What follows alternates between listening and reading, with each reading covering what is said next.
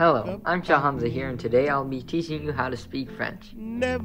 Common phrase. In French, you only say consonants that are directly in between two vowels.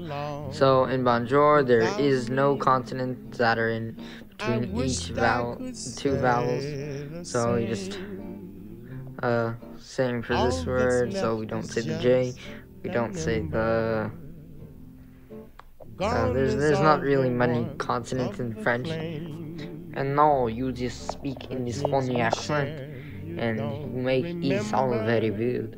And now you can speak French. Bonjour, it was on Rafa.